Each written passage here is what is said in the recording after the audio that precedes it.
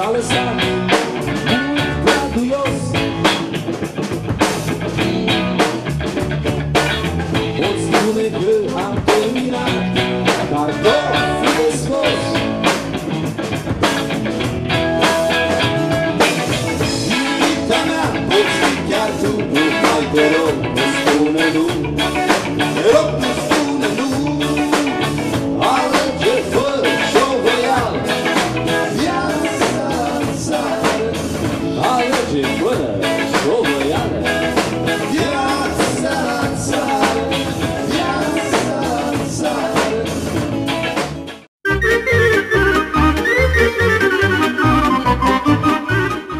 Bine v-am regăsit, doamnelor și domnilor! Pentru astăzi vă propun să ne fiți alături într-o altă incursiune prin zonele rurale ale județului Hunedoara. Așadar, vă invit la un periplu prin ținutul Zarandului sau prin țara Moților, așa cum cu mândrie localnicii își denumesc zona în care trăiesc, mai exact în comuna București.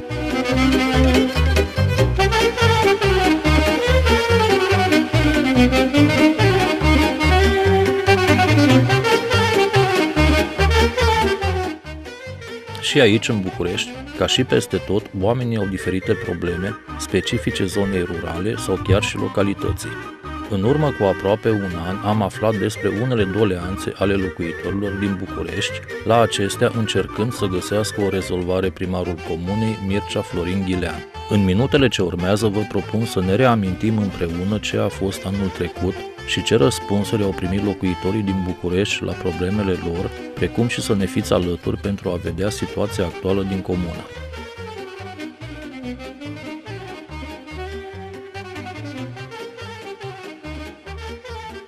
Doamnelor și domnilor, revenim astăzi în țara Moților, suntem în Comuna București, alături de mine primarul acestei așezări, Mircea Florin Ghilean. Domnule primar, bine v-am regăsit!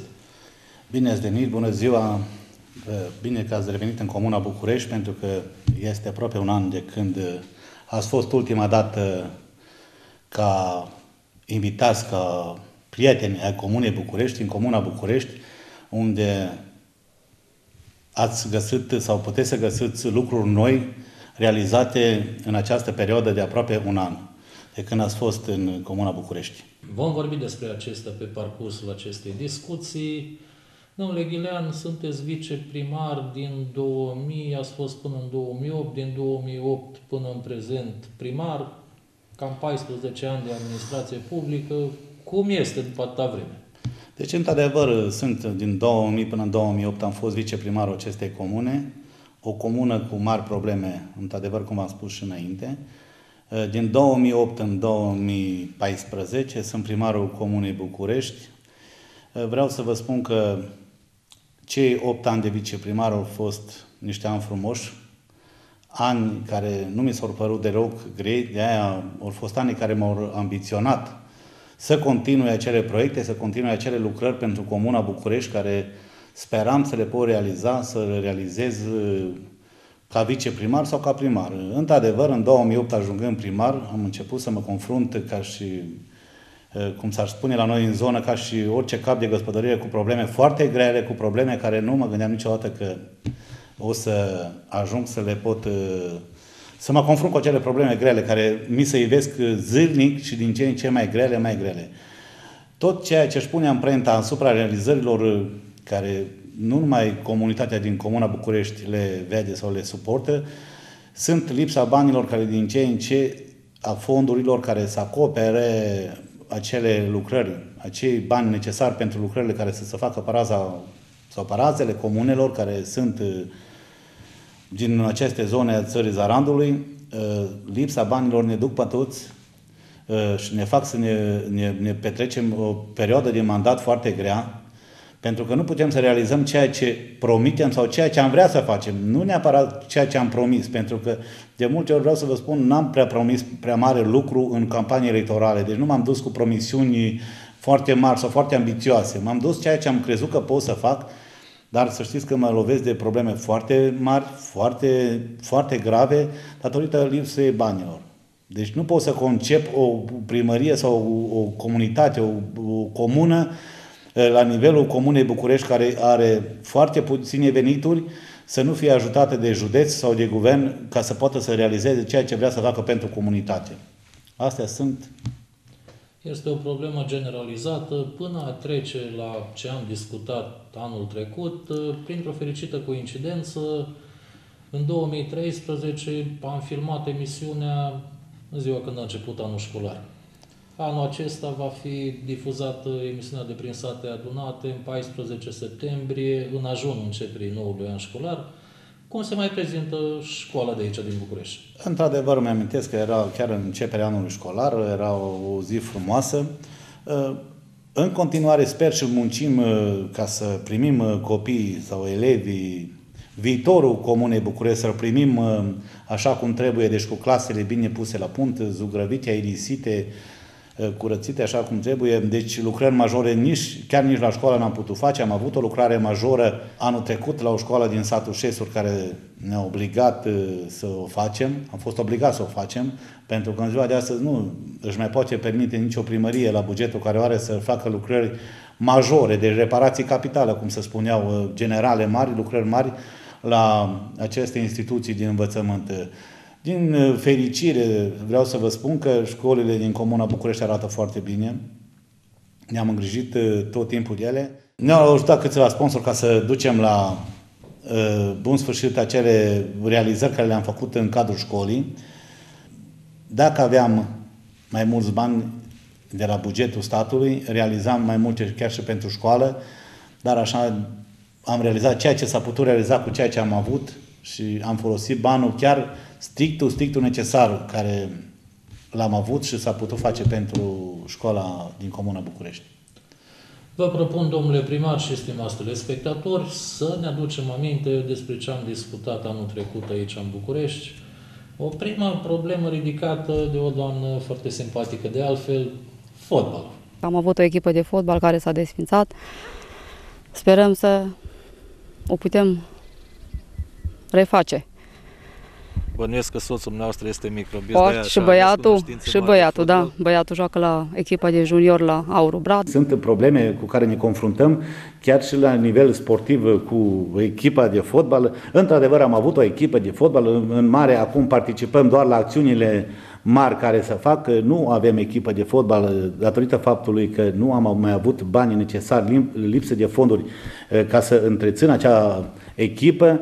În ședințele de consiliu în care am expus problema echipei de fotbal, eh, consilierii eh, până la urmă au fost împotriva susținerii unei echipe de fotbal datorită faptului că nu mai erau fonduri, eram conștient că nu mai avem fondurile necesare ca să o putem întreține, să o putem ține și atunci Ă, ne-am limitat doar la acele acțiuni care se fac la nivel de două, trei comune, patru comune, participăm și noi cu tinerii noștri de aici.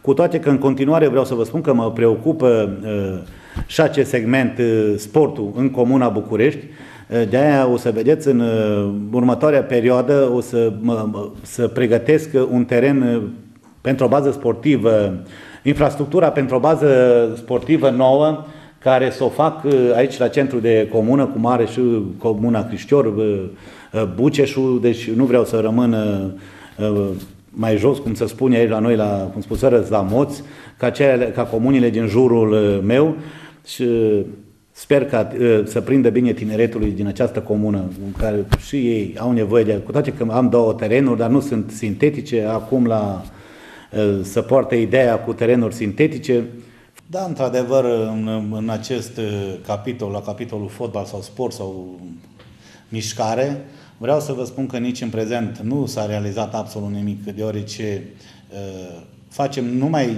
acele uh, campionate mici la nivel de comună care le realizăm cu anumite ocazii de sărbători, de zilele comune, de ND care se desfășoară la noi paraza comunei, nu ne-am putut permite datorită bugetului, datorită banilor, să mai avem o echipă de fotbal, să zicem așa, la nivel de comună, datorită lipsei banilor care în continuare ne macină și nu ne dau voie ca să facem să... Dar nu cred că la momentul respectiv este ceva care ne împiedică să uh, trăim într-o armonie, așa să zic, în Comuna București, că ne lipsește fotbalul chiar acum. Avem proiecte mai grele, ambiții mai mari să realizăm altceva și, cum spune o vorbă la noi la țară, domnule primată, fă un coperiș și după aia fă și distracție sau altceva. Deci eu mă duc pe principiul ăsta, deci în primul rând trebuie să facem uh, uh, drumuri sau uh, căi de acces spre locuințele oamenilor care nu le aveau sau să aibă un iluminat public,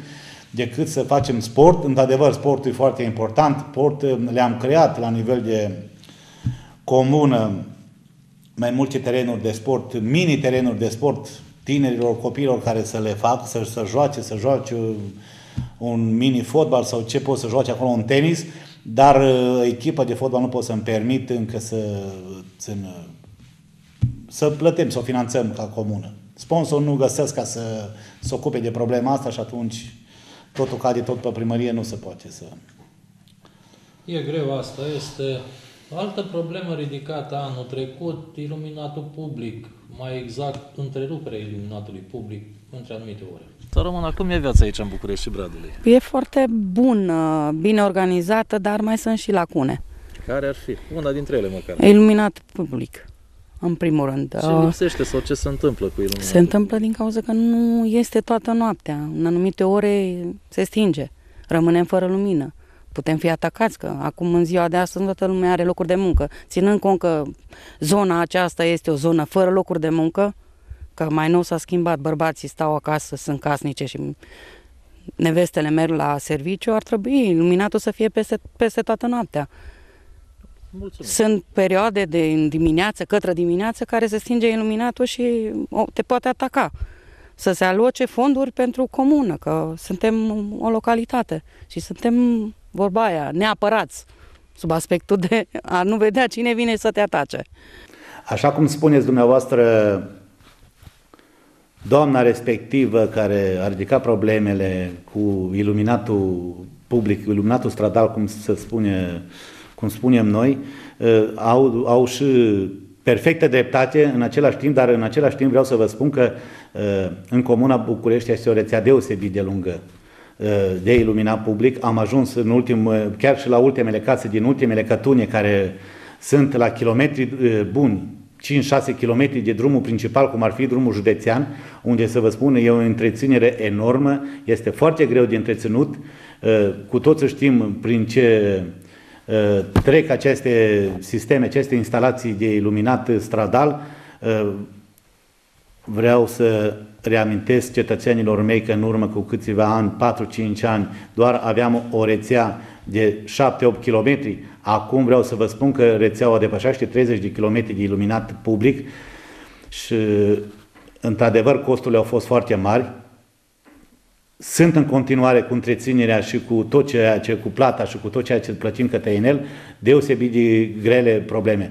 Dar în același timp, într-adevăr, facem restricționarea iluminatului public începând cu ora 24 până dimineața la ora 5, o perioadă unde să putem recupera acea, măcar acei bani pentru care facem întreținerea uh, rețelei.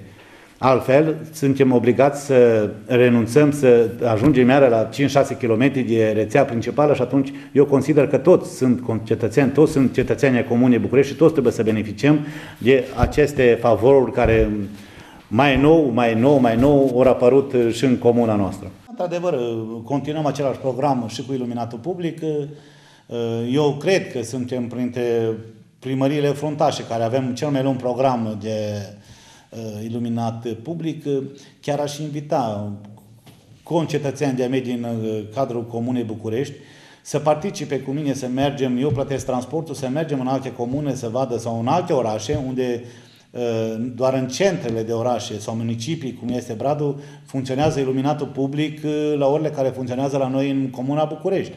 Pentru că eu am înțeles uh, programul lor de lucru, programul de lucru a cetățenilor care vin de la lucru și merg la lucru și le respect dorința ca să aibă iluminat, să nu meargă la întuneric, dar lipsa banilor nu ne permite ca să putem ținea pe toată perioada nopții iluminatul public. Datorită faptului că am spus-o și înainte, o spun și acum, avem o rețea foarte grea. Rețeaua noastră avem 525 de lămpi 2000, 2008, 2008 aveam undeva în jur de 120 de lămpi. Am ajuns primarul comunei, am extins, pentru că am considerat că nu doar cel din centrul satului sau din um, are nevoie de iluminat public, de, e și la periferie, oriunde este în sat, deci toată lumea, nu se poate plânge nimeni că nu are o lampă pusă. Ca să beneficieze de acel, dacă nu ne-a, nu ne-a permis infrastructura sau stâlpii sau cum vreau ei să înțeleagă, le-am pus chiar și improvizate, le-am făcut, au 525 de lămpi avem, deci e un cost enorm. Chiar nimeni nu mă întreabă de costurile astea cu ce pot să întrețin acea rețea. Deci gândiți-vă ce distanță de rețea am dacă am 525 de lămpi. Deci nu este ca într-o comună, unde o comună așezată cu chiar 2000 de locuitori, cum este Criștiorul, 3000, 3500 de locuitori, dar care are o rețea de 5 km. Pentru că este în centru, sunt toți comasați pe marginea drumurilor, drumul județean, drumul național sau drumul la mine fiind o, o, un relief, o, o zonă de deal de munte, totul, să, ă, casele sunt răspirate, sunt ă, așa, în așa în fel puse încât, domnule, asta a fost situația, asta e comuna mea. Deci trebuie neapărat să-l ajut și pe ăla din Vârdealul, numai ei se supără că n-au uh, iluminat cei de jos, dar și cei de sus trebuie să aibă de la mai sus, de la deal sau de cum vreau ei să-i numească, că sunt tot consătenii noștri și ei trebuie să beneficieze de aceste servicii al iluminatul public. Sunteți primarul unei întregi comune. Nu Bineînțeles. Părți. Da. Altă problemă ridicată de concetățenii dumneavoastră, nu știu dacă vă încălzește sau nu, este o problemă generalizată în, în comunele hunedorene, starea drumurilor, indiferent că sunt ele comunale, vicinale, de exploatație agricolă. Drumurile înspre satele noastre să fie revizuite, reparate, îngrijite, pentru ca toți cetățenii să poată să circule în bune condiții. Aici, cum spuneți și dumneavoastră, suntem la un moment de răscruce. Vreau, chiar pot să vă spun, la un moment de răscruce cu această infrastructură datorită faptului că am moștenit o, o, o infrastructură foarte greoaie. Deci, datorită faptului că, că tunele mele sunt foarte dispersate din sate, în satele aparținătoare comunei, sunt kilometri întregi de drumuri care au fost doar drumuri de pământ, o trebuie să facem infrastructură, să băgăm utilaje ca să le facem. O costă enorm, costuri foarte mari. Uh, suntem aproape la 80% cu realizarea acestor drumuri uh, vicinale, cum le numim noi, drumuri comunitare, care servesc comunitățile noastre din cătunile cele mai îndepărtate de centru de sat sau de centru de comună. Vreau să vă amintesc că chiar în momentul de față, în perioadă, într-o perioadă foarte grea, Uh, să realizează, am, am, am avut curajul să realizez aproximativ 1000 de metri de drumuri asfaltate în trei cătune din uh, satul Curechiu. Uh, mai mult de atât, lucrez cu două buldozere la drumurile de pădure, drumurile de țară, cum le numim noi, care, unde oamenii să-și poată merge la câmpuri, la pădurile care le au în administrația lor luate proprietăți personale, deci, totuși, în comună, eu zic, acum, orice cetățean poate să mai fie și nemulțumiri, pot să fie și probleme, alții mulțumiți, alții nemulțumiți, nu pot să ajung la toți într-un timp foarte scurt, dar preocuparea atât a mea cât și a Consiliului Local este, sau a viceprimarului este ca drumurile în cel mai apropiat timp să ne ridicăm și noi la un nivel de comună civilizată și așa cum ar trebui să fie, să poți să mergi cu o mașină, Uh, sau, Doamne ferește, să nu se întâmple un incendiu, să nu poți ieși cu mașina pompierilor până chiar la ultima casă, care, vă spun, cum v-am spus, este la o distanță de 5-6 km de drumul principal. Este o problemă în continuare în Comuna București.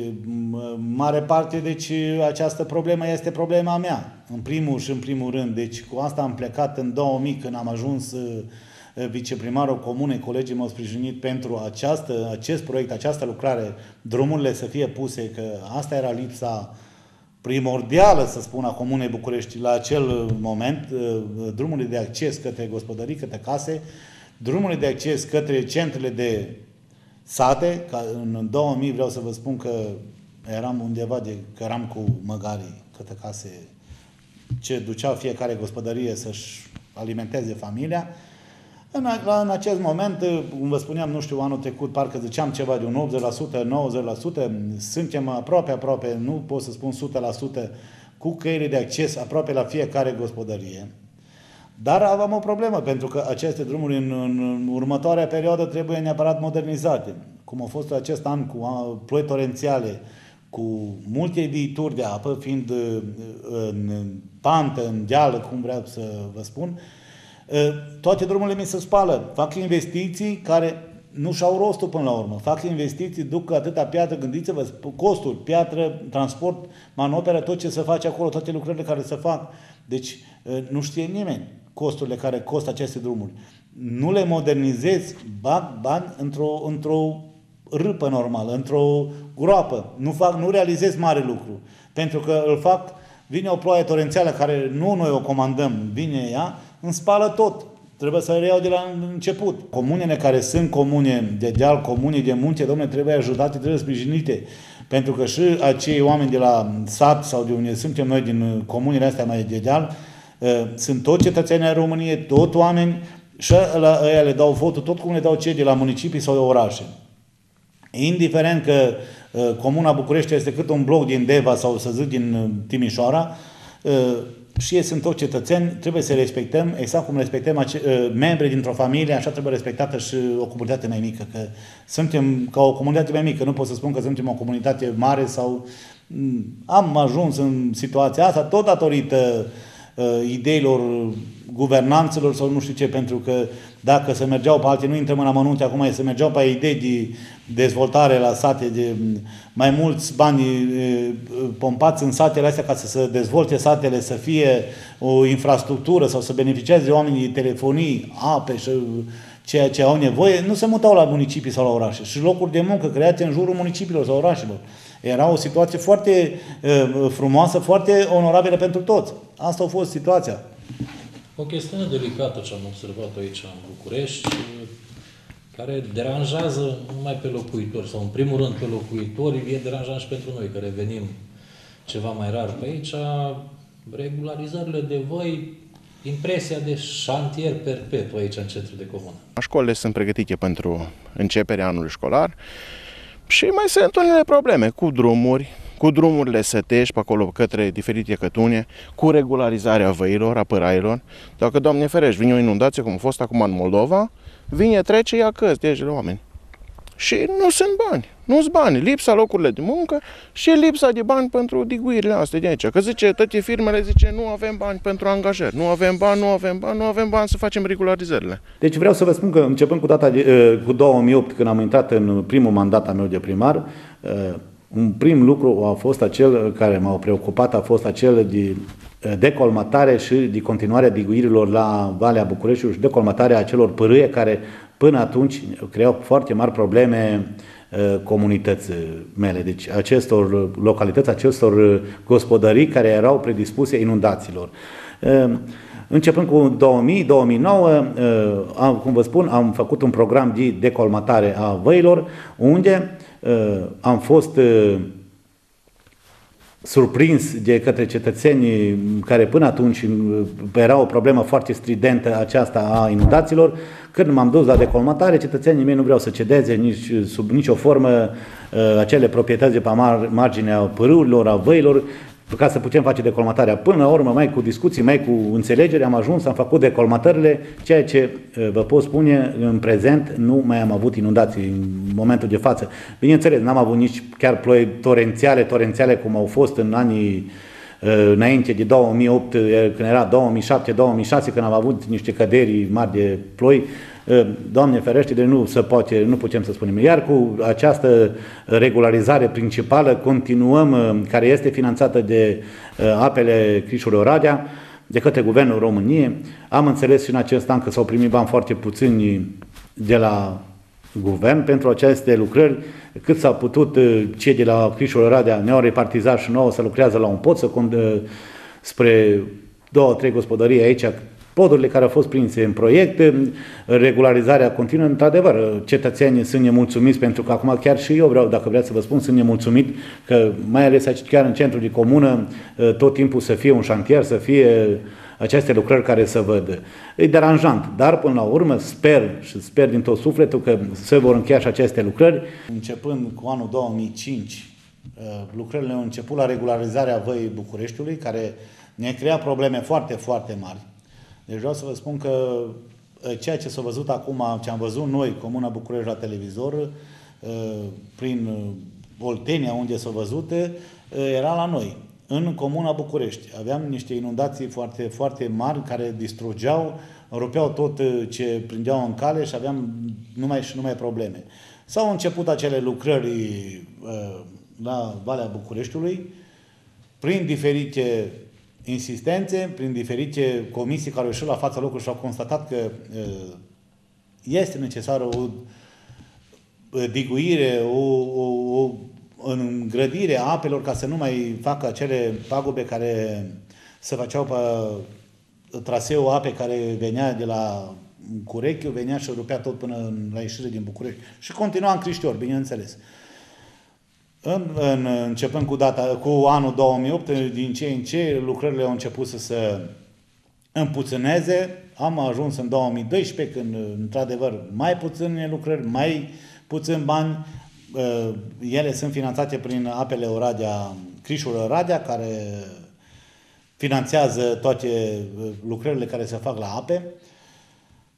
Le-au fost repartizați mai puțin bani, am făcut diferite adrese, am, s-au continuat în, în perioada anului 2013 foarte, foarte puțin, nu s-a realizat decât un singur pod la nivelul Comunei București, unde mai sunt cel puțin 9 poduri de trecere, plus mai sunt vreo 2 km de, exact cum spuneți dumneavoastră, că se vede acest, chiar în centrul satului, acest denivelare, această piatră care e adusă de firma care face lucrările la Valea Bucureștiului, din lipsă de bani, am sunat, am făcut adrese chiar la Apele Oradea, am sunat patronii care s-au ocupat de firma care s-a ocupat de această lucrare, domnule, nu sunt bani, nu mai mai da nimeni nimic. Domnule, eu vreau să întreb și chiar aș fi curios și o să văd, domnule, dacă se mai întâmplă o nenorocire, cum se întâmpla până acum, că chiar s-a gătuit uh, lucrarea în fața sediului primăriei și până la ieșire la Criștior.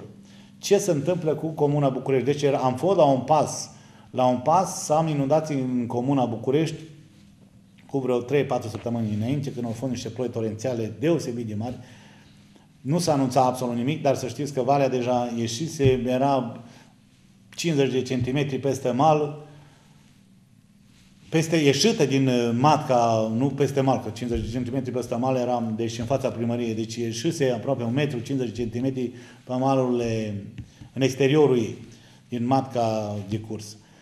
Deci sunt probleme foarte mari și aici demersuri am făcut. Nu știu cine ar trebui să vadă ceea ce ar trebui să vadă și să facă și pentru aceste, această comunitate mică care tot timpul e într-un pericol.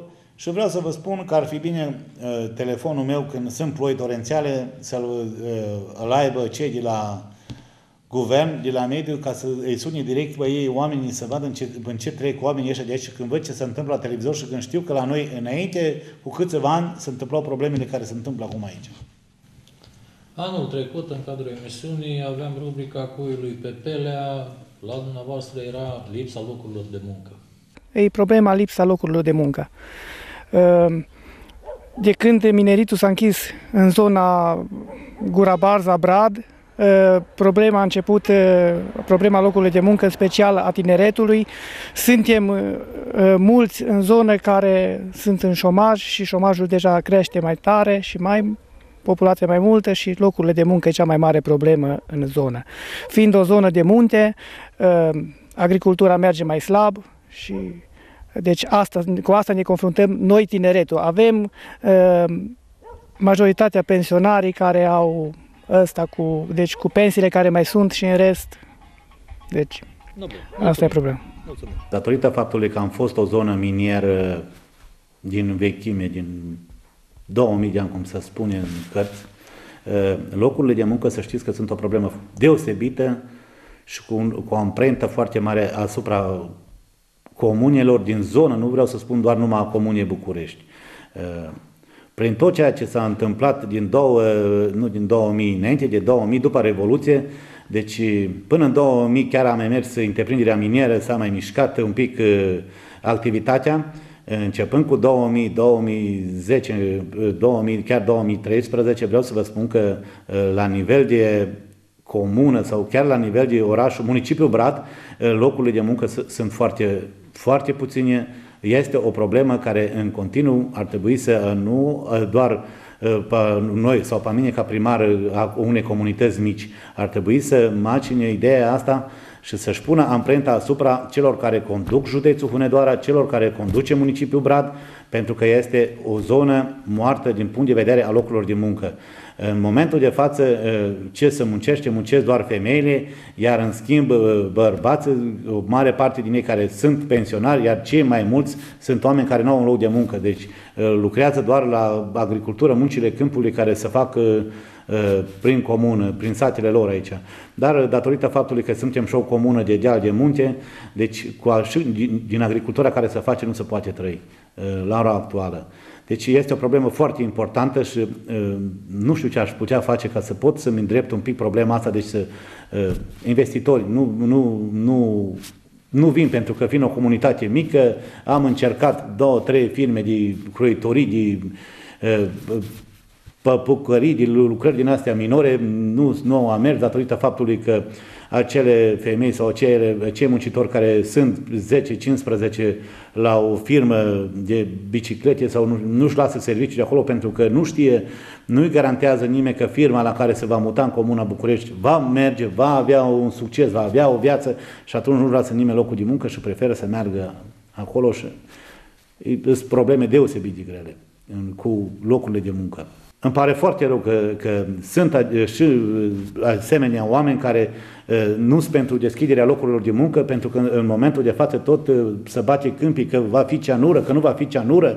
Noi am lucrat cu ceanură și la Gura Barza, s-a lucrat cu ceanură la prepararea aurului. Nu am auzit să moară nimeni, nici n-a murit nimeni din această problemă. Mai mult de atât, în momentul de față sunt aceste controle care Uniunea Europeană nu ne permit să depășim acei coeficienți de ceanură. Nu înțeleg care este acea temere, teamă de, de a deschide acel mare combinat care ar vrea să se deschidă la Roșia Montană. Și mai mult de atât, ar fi foarte, foarte îmbucurător nu doar Roșia Montană să înceapă, să înceapă și Certejul, să înceapă și Barza, să înceapă minile care au fost, exploatările în, în condiții care le impun acum legile europene, care le impune uh, cei factorii de răspundere care trebuie să controleze aceste probleme care sunt. E posibil să reînceapă munca și în cariera de aici, de la Rovina? Măcar să ajungă la situația uh, normală, bărbații să lucreze și femeile? Deci, referitor la exploatarea de la Rovina, unde acea firmă română-canadiană a făcut prospecțiunile, eu sper că în acest an să înceapă avizele pentru uh, începerea acestei exploatări, datorită faptului că nu este trecută extragerea cu ceanură, uh, nu, să, nu sunt probleme pentru mediu. Dacă nu vor fi date avizele, deci atunci problema importantă nu este mediu, cum cred că nu este nici la Roșia Montană sau în altă parte, sunt alte interese și ale nu putem să fim alături de, și nu pot să susțin asemenea idei. Deci chiar nerădător să văd uh, problema cum se pune în septembrie, acum în octombrie, noiembrie, când vom depune, vor depune această firmă uh, obținerea vizelor la București. Pentru că nu, mai, nu o să mai putem să o trăgănăm, să spunem atunci, domnule, este ceanul. Pentru că în, aceast proiect, în această exploatare, în această extracție, nu există ceanul. În continuare, lipsa locurilor de muncă este, într-adevăr, în Comuna București. Mai mulți factori care influențează această lipsă de fonduri de locuri de muncă sunt uh, proasta gestionare, să o spun așa, a celor de la municipii, de la orașe, unde trebuie să se creeze locuri de muncă, pentru că într-o comunitate de 1700 de locuitori nu poți să creezi locuri de muncă, să creezi firme, să creezi locuri de muncă. Uh, noi, fiind uh, o comună adiacentă municipiului Brad, chiar nici Criștorul nu poate să creeze locuri de muncă ca să acopere forța de muncă din Comuna București, că ei abia își acoperă locul de muncă din mm, comuna lor. Ar, ar trebui să fie locuri de muncă cum au are Orăștia, cum are Sebeșul, cum au municipiile sau orașele din jurul nostru, deci asta este în continuare și asta este ideea mea. Cei care sunt acolo ar trebui să-și facă probleme eu îmi fac uh, pentru comunitatea mea destule probleme că nu sunt locuri de muncă. Deci, într-adevăr, nu sunt locuri de muncă, domnule, dar cei care sunt mai sus, la municipiu care sunt primari, care sunt în conducerea municipiilor, care sunt în conducerea județului. Dom'le, de ce nu sunt locuri de muncă? Ei ar trebui să vadă de ce nu sunt locuri de muncă uh, pentru toate satele astea. În continuare, eu sper, în continuare sper că până la urmă Comuna București își va rezolva problema cu locurile de muncă. Sper. Și încă mă rog la Dumnezeu să-mi ajute să rezolv problema asta. Pentru că altfel vă spun ceva. Și o să rezolv problema uh, celorlalte comuni, celor, chiar și a municipiului Brad. Dacă rezolv problema locurilor de muncă din... uh, Încerc să rezolv proiectul care se demarează, care se dezvoltă în continuare pe raza Comunii București. Hai să spunem, e vorba de cariera de la Robina. Da, este vorba de exploatarea care se va face, care se lucrează acum la proiectul de exploatare minieră din uh, Rovina. Uh, Sper că până la urmă guvernanții vor vedea acel proiect care îl punem, acea lucrare care se va pune pe masa lor, vor fi capabili să semneze, să ajute România. În primul rând, România o ajută. În al doilea rând, ajută Comuna București și nu doar Comuna București, ajută aproape tot județul Hunedoara. Să sperăm că va merge ceva mai repede decât la Roșia Montană sau Certeș, mai ales că spuneați anul trecut că așa este proiectul fără ceanurări. Păi, proiectul este chiar și acum, cu modificările care s-au adus datorită acelor mișcări care s-au făcut sau acelor uh, meeting-uri sau acelor indicații care s-au dat că, domnule, cenurarea nu mai se poate, că e nocivă, că cu totul știm că e nocivă și să nu mai fie. Uh, Problema este în felul următor. Uh, Nu este ceanunarea, ceanunarea asta nu este problema cea mai importantă. Deci pixul, la domnul care semnează, ăla e important.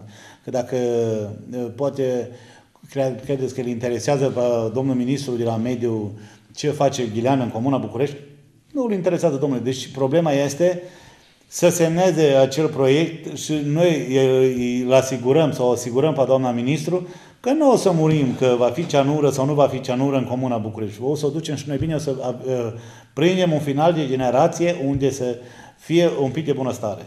Nu o să fie altceva. Amândoi avem trecuturi minerești, știm cum Bineînțeles, este deci eu chiar am un trecut exploatarea, mineresc, să mai am mult lucrat, am lucrat în minerit, deci nu văd, mă întâlnesc cu colegi, cu foști prieteni, nu îl văd niciun bolnav, din, chiar, chiar văd alții care nu au lucrat în minerit, îi văd oameni bolnavi, îi văd pentru că mineritul te face un om uh, robust. Cu toate că acum în uh, această eră, să zic așa, în această perioadă nu se va mai lucra cum s-a lucrat în uh, perioada când am lucrat la mine. La sapă și la troc. Deci nu se mai va lucra așa, se va lucra totul modernizat, dar să știți că cei care au lucrat în minerit toți sunt oameni căliți, oameni robuști, oameni care nu sunt bolnavi. În schimb, sunt ceilalți care au lucrat la suprafață, care au lucrat unde au lucrat, sunt toți oameni care, domnule, diferite boli. Să sperăm că se va rezolva această problemă, nu numai aici la București, ci și la Certeș și în alte Păi zone asta ale tot. județului. La promisiune publică anul trecut m-a surprins promisiunea dumneavoastră. În alte părți se plângeau primarii de marea problemă, apa și canalizarea. Noastră ați promis că veți face ceva în sensul ăsta.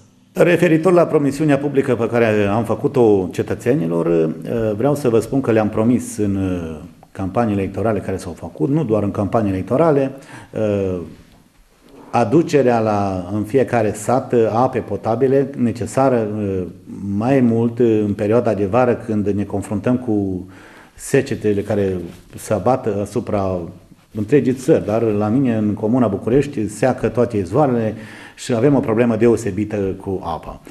Apa, deci în centrul de comună este 90% încheiat proiectul, deci băgată, deci urmează ca în următoarele zile să avem o întâlnire cu cei de la Apa Pro de Deva și să demarăm legarea gospodăriilor la magistrală. Cu canalizarea, deci alături de municipiul Brad, Criștioru, suntem prinși într-un master plan de canalizare și noi Comuna București până la centru aici de comună, datorită faptului că e o comună de deal de munte, cum bine o vedeați și dumneavoastră, cam foarte greu merge canalizarea, pentru că vă dați seama, canalizarea trebuie pompe, trebuie stații de epurare, fiind o, o, o comună cu un asemenea aranjament de infrastructură și case cum sunt puse, e foarte greu să faci acea canalizare care din punctul meu de vedere, este foarte importantă pentru comunități.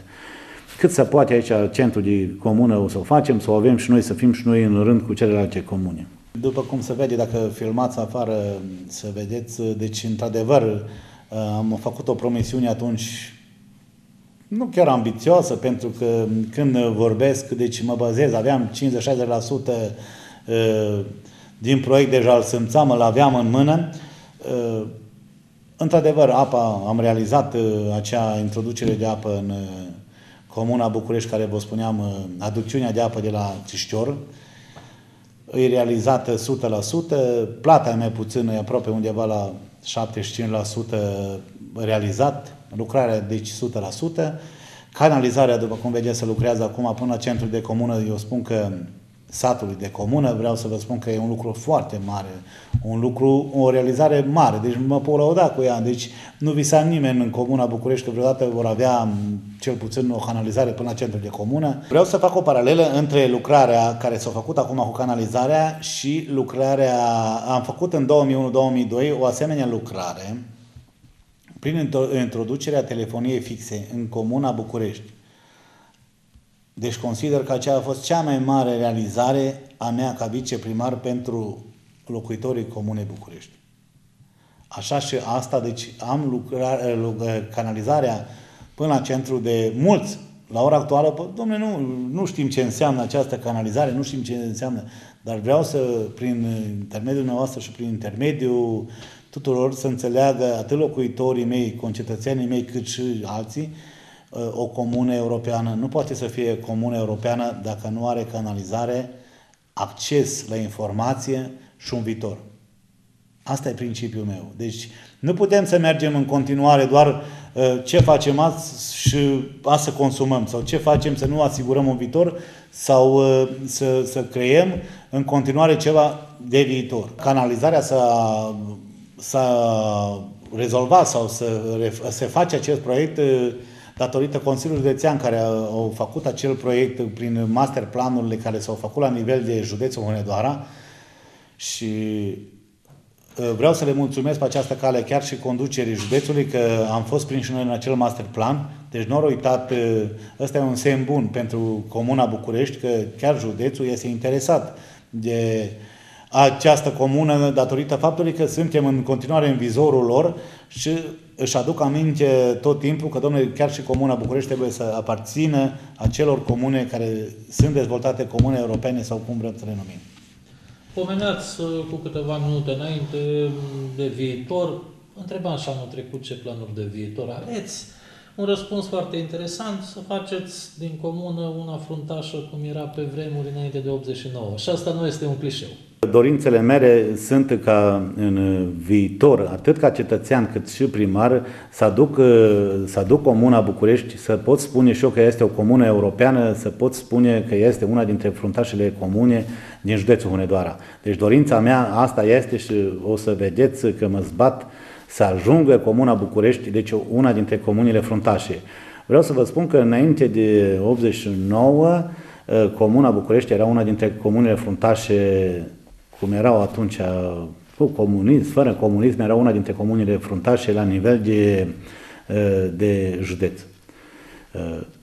Am avut mari reprezentanți din Comuna București, de aia vă spun că a fost o comună fruntașă, am avut mari reprezentanți la conducerea Minei, chiar am avut la conducerea primăriei Deva, deci erau oameni deosebiți în, cu vocație în Comuna București și sunt și în continuare. Îmi doresc foarte mult uh, să ajung să fiu o comună fruntașă și sper că undeva am ajuns, ca să vă dau un procent, că eu tot timpul lucrez la un procent, așa, undeva la vreo 80%, 85% sunt ca o comună fruntașă, datorită faptului, prin ceea ce v-am și spus mai înainte, infrastructura care continuă să se dezvolte, M-am, m-am confruntat și aici cu mari probleme. V-am spus, din cauza timpului, din cauza ploilor torențiale care eu fac, distrug în continuare acele drumuri care le fac eu, drumuri de comune, drumuri de sate, drumuri de de vicinale care sunt foarte necesare pentru locuitorii comune București. Vreau ca să continuăm cu uh, acești pași importanți care am făcut în cadrul Galului, uh, unde chiar am un proiect foarte ambițios și sunt la finalizarea proiectului respectiv de uh, achiziționare unui utilaj care este foarte necesar pentru o comunitate ca a mea. Sunt aproape 90% rezolvat cu această problemă, deci utilajul va veni în cel mai scurt timp fiind uh, organizată licitația, am trecut peste toate obstacolele care au fost și acolo, că chiar și aici vreau să vă spun că birocrația și tot ceea ce ține e foarte stufoasă și asta distruge aceste proiecte mici, eu le consider proiecte mici, uh, cum sunt și aceste pe gal, 5.000, 6.000 de euro, deci sunt niște probleme care ar, ar, ar trebui cei de sus, guvernanță, să se aplece peste ele și să vadă, dumne, sunt, sunt o, o, o sumedenie de documente, o sumedenie de drumuri făcute la Timișoara, la Deva, ca să putem să demarăm sau să obținem ceea ce vrem să facem printr-un proiect care se face cu bani de la Uniunea Europeană. Într-adevăr, nu contest că nu trebuie să fie o supraveghere strictă a fondurilor care se dau, dar, domnule, să fie supravegherea pe fonduri, nu atâta documentație, atâtea mișcări, atâtea drumuri făcute la Timișoara pentru o simplă semnătură sau o simplă informație. Deci sunt, sunt din punctul meu de vedere, sunt foarte, foarte costisitoare. Foarte, foarte mulți bani care ne se duc doar pe, pe mișcări, pe făcute documentații. Actor pentru dezvoltarea comunei, deci am realizat, uh, avem în cadrul comunei București biblionetul care mai înainte, cred că în cealaltă emisiune nu v-am informat, avem biblionetul care uh, sunt foarte mulți oameni care vin și colaborează, intră, vizionează aceste informații care au nevoie de ele, sunt uh, foarte interesați, arată interesați de când avem uh, deschis acest biblionet. Uh, iarăși am uh, creat pentru tineretul din uh, satul Șesului un cămin cultural unde uh, este pus în aproape un standard, deci foarte bine pus la punct, l-am foarte greu l-am realizat această realizare, acest cămin, reabilitare care a fost, pentru că el a fost ca sală, dar numai sală de cămin cultural nu era. Urmează în continuare ca el să fie pus în, la capacitate de să fie și folosit în același timp, vreau să îl completez cu o stație audio care să deservească atât căminul din satul Șesur, cât și cel din uh, Comuna București, unde în, la momentul potrivit și mai am un cămin care se poate folosi, poate fi util în uh, satul Benișor. Domnule primar, o promisiune concretă pentru viitor, un plan deci să-mi iau o promisiune, să vă dau o promisiune sau să, să vă asigur că voi face ceva în viitor pentru locuitorii, concetățenii mei, locuitorii Comunei București, vreau să vă spun un...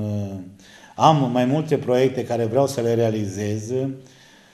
Acel proiect cu un teren sintetic la centru de comună care nu o să-l uit și o să-l realizez, sper în mandatul ăsta. Tot în mandatul ăsta vreau să încep o lucrare la un cămin cultural din satul Curechiu, unde am tineri și căminul existent e sub orice critică, deci nu poate fi folosit. Cel din satul Rovina, iară, este în, acolo e o comunitate mai mică și acel cămin este foarte...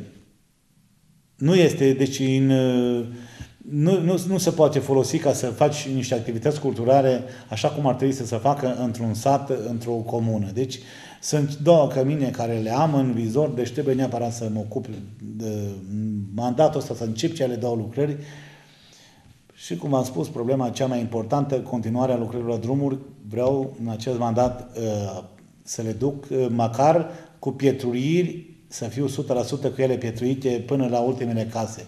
Nu vorbesc de modernizări, ceea ce înseamnă modernizare cu misturi asfaltice, cu alte agregații din astea ce se fac acum, dar cel puțin pe Twitter să nu poate spune nimeni, domnule, la mine nu se poate merge, cel puțin cu o căruță, așa cum trebuie să se meargă. La final, domnule primar, un gând pentru locuitorii Comunei București. Păi, ceea ce îmi doresc mie, îmi doresc tuturor locuitorilor Comunei București, datorită faptului că ei mă știu de când eram copil, sunt un copil crescut aici între ei, cum să spune, un fiu a satului, n-am plecat niciodată din Comuna București, le doresc răbdare, minte, minte în primul rând, că numai mintea este ceea ce, care creează răbdarea, ca să putem realiza împreună ceea ce ne dorim cu toții. Și ceea ce ne dorim, îmi dore, ce îmi doresc eu pentru mine și familia mea, asta le doresc tuturor locuitorii Comunei București. Îmi pare foarte rău că nu am avut mai multe acțiuni culturale ca să mă pot întâlni cu ei, să socializăm împreună în cele puține în care au fost, în mare parte ne-am întâlnit, dar în continuare le doresc multă sănătate, multă răbdare ca să putem realiza ceea ce ne-am propus să realizăm.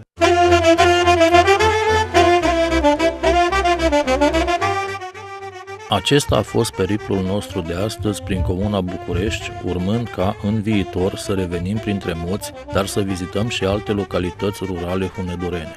Vă aștept și duminica viitoare la o nouă emisiune. Să ne revedem cu bine!